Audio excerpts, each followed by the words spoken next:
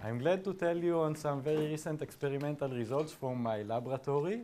We are doing photonic devices at the micron scale. Their diameter is comparable to that of a red blood cell or a human hair. And they are made of unusual uh, phases of matter. For example, we can make devices with walls made of uh, liquids, water and other liquids. We can make a fiber optics or a resonator where light circumferentially circulate out of uh, water. The walls are made of uh, water and we can excite mechanical, optical, and water wave resonances, three different resonances in this very same uh, resonator. We are also doing micro resonator filled with plasma interacting uh, with light continuously in time very uniquely. And relevant to this lecture is flying photonics for reaching to nanogaps and for that we need gases and we use air. Uh, this lecture will be slightly non-formal. I will start with Planck constant, h bar. I'll start with experiment. How do you measure h bar? Students want to measure h bar, a little bit of philosophy. And then what are the next to come constant? Okay, we already have h bar, maybe uh, alpha and lambda. Uh, which will lead me to analogs in uh, uh, nature, similarities, tunneling, and also experiment in tunneling. So in our optics laboratory course, the student design, fabricate, and demonstrate parabolic mirrors, and they are also experimentally use them to demonstrate uh, Carmon solar marshmallow uh, cooking, which uh, significantly improved the current state of the art in this field. But what I wanted to tell you is about this uh, furnace that is used for several uh, applications. One of them is uh, pulling a, a, fiber, which this uh, student uh, does in this uh, course. But also, yeah, they also play with what left with the ingot. but they also aim a spectrometer to a black body and actually measure Planck's constant. And if they calibrate well their system, they get to several, to many significant digits. It's a very nice uh, experiment. I encourage all students to take this uh, course. And this brings me to 1900 when Lord Kelvin say there is nothing new to be discovered in physics now. All that remains is uh, more and more precise measurements, uh, except for two very small dark uh, things that we don't know how matter moves through ether, the, the ether wave, Galea ether. They saw that electromagnetic uh, waves are carried by ether. So this small cloud uh, led to general relativity, Michelson experiment, of course, on the right, and black body radiation. We see here uh, uh, people uh, growing cannabis, and they didn't took a Carmon course in radiative heat transfer, and uh, you can see that it's warmer, and well, Rayleigh-Jeans uh, equations say that it will be warmer, but there are some uh, deviation. They couldn't exactly fit experimental theory, which led to quantum mechanics, H bar, uh, black body uh, radiation. So what are the black clouds that we have today since new physics come from such black clouds? Gravity in the book uh, Principia a gravitational attraction decays with distance squared. This is the Newton law of universal gravitation, and there was indeed an apple there, and people argue and check. It didn't, it didn't fall on the head uh, of uh, Newton, but it fell uh, next to it.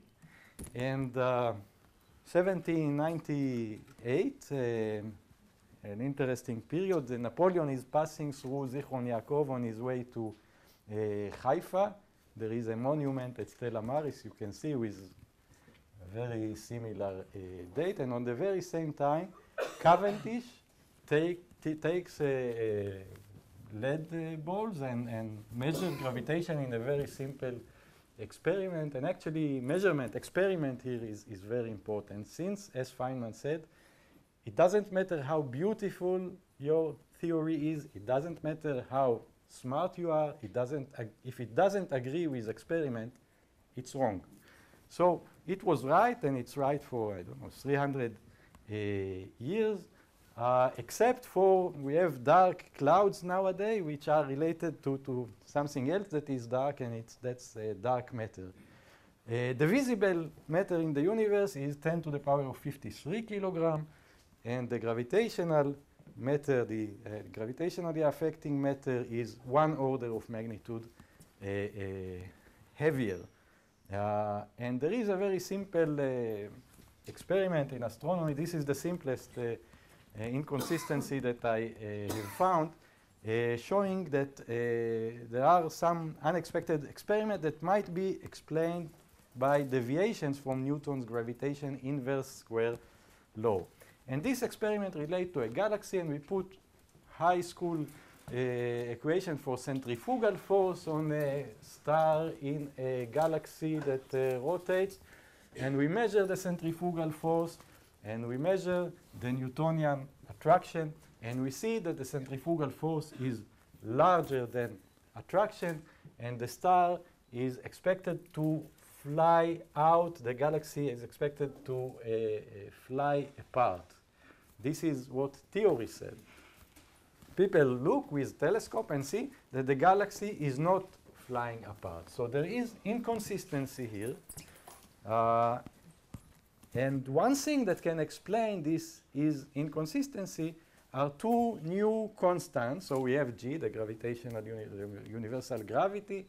Uh, we have h bar, but we have also maybe alpha and lambda that correct gravitational attraction according to this uh, equation. And people are going and they measure gravitational attraction of over 55 uh, micron. lambda is 55 micron, and they check for alpha. And uh, they do it very similarly to Cavendish uh, experiment. There are weights or negative weights like holes, there are balls, and uh, the experiment is, is very, very similar. And what they can do is uh, verify Newtonian gravitation over distances of a millimeter, uh, but over distances of a micron, gravity might be million times stronger uh, than what is expected by Newton. This is the, the state of the art, the yellow, and this is what we don't know. We don't know gravity over micron scale distances, which can explain dark matter, other uh, theories uh, uh, that uh, need experimental confirmation. Uh, in more detail, uh, there are theoretical prediction for electromagnetic fifth force. there is the theoretical question of whether all objects fall at the same rate, whether we have monopoles and gravitons, and the theories are, are very complicated, except for, for gravity that, that I could explain with high school uh, physics. Uh, but the uh, result is one very simple equation. You have alpha, you have lambda. Go and measure them experimentally. And for that, you need to reach these micron scale uh, gaps while having a very accurate uh, way to measure distances. And well, we know finesse, finesse in optics. How fine can we measure uh, distances? Uh, actually, if you have a finesse of a million, it means that you can measure a distance of wavelengths divided by a million. So 10 to the minus 6 to the minus 6. You can measure 10 to the minus 12 uh, deviation. This is finesse. This is the origin of the word. In, an, in a recent experiment, we wanted to try something completely else. We tried to demonstrate irreversible refractive index. Usually when light goes in counter uh, direction, the refractive index is, is the same in crystals, in uh, other uh, system. We wanted to have a system uh, that isolate uh, light by having irreversible index. And we took a small sphere. We were spinning it very rapidly next to a fiber which bring light in and out. And we wanted to do uh, isolation, optical isolation. Apparently, uh, rapidly, rapidly 100 meter per second, the uh, uh, rim of the sphere. Um, so uh, the index is different because when we move the glass, it drags light, Fizeau drag, and the speed of light is different, and we uh, get uh, uh, isolation.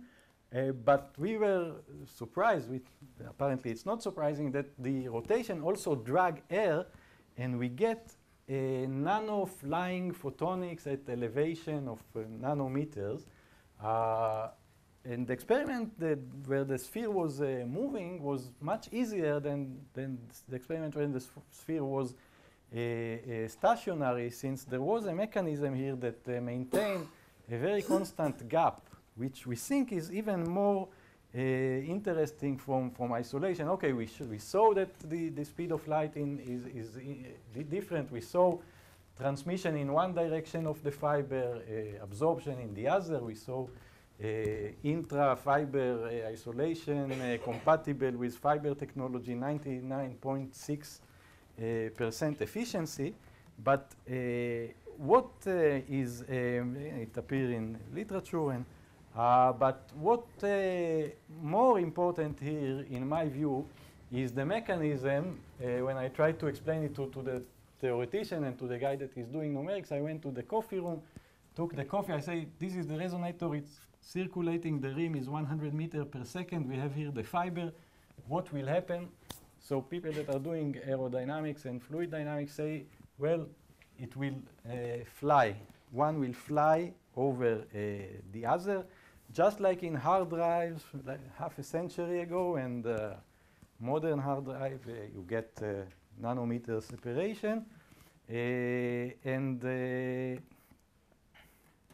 and they did the calculation. This is the aerodynamics term. Uh, but there are also other terms which uh, turn significant at that distances, Casimir force and two terms of van der Waals force. By the way, van der Waals uh, mechanics is not very common simply because the things stick together when you reach these distances. Because if you take two glass uh, uh, ingots, they will stick to each other because the molecule doesn't know whether it belongs to this one or the other one except for if you rotate it if you, and you have a flying uh, mechanism. Uh, so we did the, the numerics, uh, the, the, the, analytics, we did the numerics. That's how the airflow looks around the tapered fiber that is flying at a height of several nanometers above the rotating sphere or cylinder.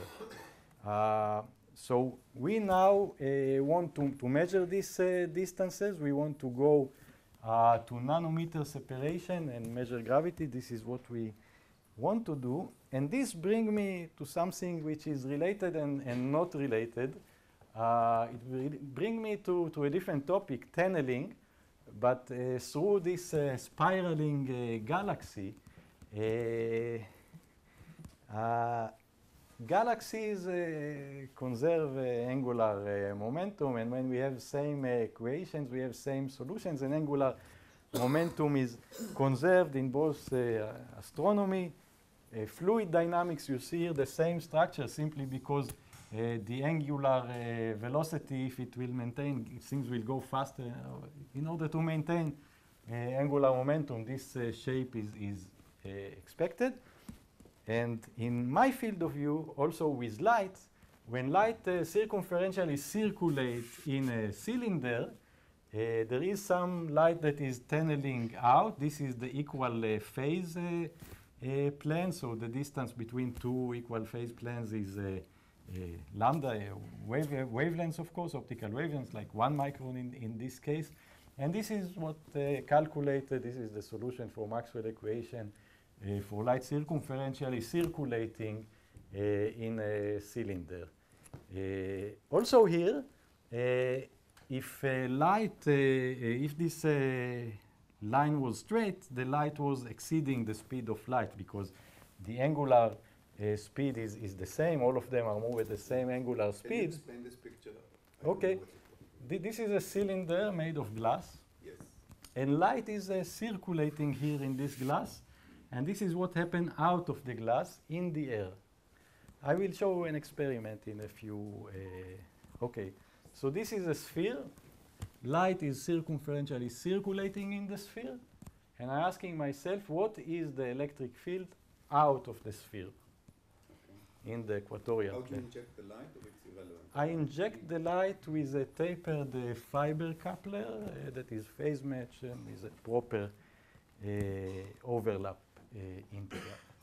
So we read several theoretical papers saying that when you have a sphere or a cylinder with light circumferentially cir- circulating inside, there is a forbidden zone that light tunnels through. And in this uh, animation by Roll, he showed that light is expected to be emitted from uh, after this uh, gap, from here. Uh, it goes in all direction. I'm looking from here. I put my microscope or my eye here. I can put it also here or here or here. It goes in all direction. But there will be a forbidden zone. Uh, and wha- what is this uh, forbidden zone? So first of all, what is the potential? This is the optical uh, potential in radial uh, uh, coordinates. And, and we see here the, the forbidden zone in this region.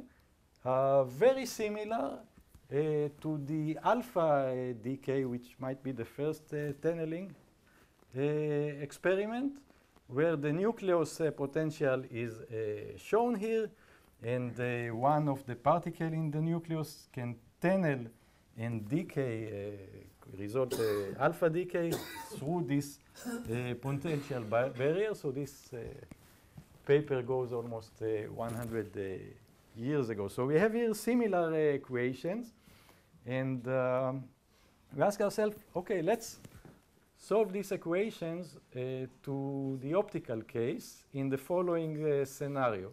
So let's take the solution, like the textbook uh, in our field uh, for microcavity, the textbook solution for light that is circumferentially circulating uh, in a sphere, and ask ourselves what will happen if I put my eye or a lens here at a side view and image the light. So we went to Born and Wolf, took the imaging uh, integral, and ask ourselves what will we see? And we see that the uh, theoretical prediction is that the microscope will take a picture of light that tunnels through this uh, forbidden zone, emitted from a point in space. There is nothing behind this point, there is nothing to the right, nothing to the left, there is nothing there, but it looks like light is coming uh, from here while this region remain dark, black. So we went to uh, the laboratory. We took such an on-chip uh, sphere, I think uh, 10 micron uh, in diameter or on a silicon chip. We came with a tapered uh, fiber. This is the, the standard way to, to couple light into it. You can use also free space coupling prism. We choose fibers. Here. And we just did one different thing in this experiment. We put a microscope here and took the image, ask ourselves, well, let's see whether we see tunneling. And this is an infrared camera because it's infrared light uh, going inside. And this is the sphere, on-chip sphere. This is the light that was emitted after passing the barrier in an optical tunneling mechanism. Okay, here we have Rayleigh scattering. You cannot uh, skip them. Uh, you can reduce them, but they, they are there. But they clearly, uh, uh, these two spots are distinguished but by a dark uh, region here. Uh, very similar to what Roll predicted in his theoretical paper in this graphic saying that light will come through here. So again, this is the side view of, of tunneling. Maybe first uh, direct imaging of uh, optical tunneling. Uh, and the interesting story is that uh, people in conferences in optics were always talking about uh, tunneling. They call it tunneling, they call it. And when I presented these uh, results in, in conference, several people stood and say, we saw it. We saw it all the time. But we saw that it is uh, like double refraction, double reflection, something in the objective of the microscope that it couldn't be that light is, is just emitted from a place when there is nothing uh, there. So I would like to thank all my uh, students and maybe say for the video that if someone is looking on the video and uh, looking for a PhD in my uh, laboratory, he is most welcome. Thank you very much.